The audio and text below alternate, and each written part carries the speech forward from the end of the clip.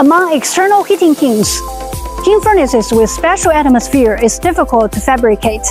Correspondingly, high temperature process index is a difficult point for manufacturing special atmosphere external heating kiln.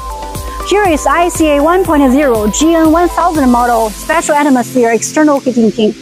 Whose total weight is 23.6 tons. Rated working temperature is 1000 degrees. Its diameter and length are 1 meter and 11 meters respectively. Design residence time at high temperature zone is 50 minutes. Internal structure combines welded lifting plates and guiding ribbon belts. Under the premise of considering the best cost performance, it makes sure to meet fixed process index. Process atmosphere adopts sticker design which will not rotate along with a kiln body. Gas will enter the major distribution tubes through flow meter. Internal pipe will rationally divide the gas.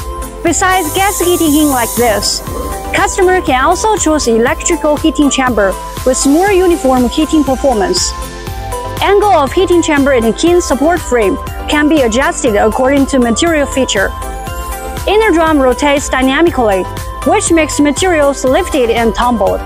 This series designs makes Taeda external heating kiln featuring energy conservation, high efficiency, uniform product quality, and stable performance.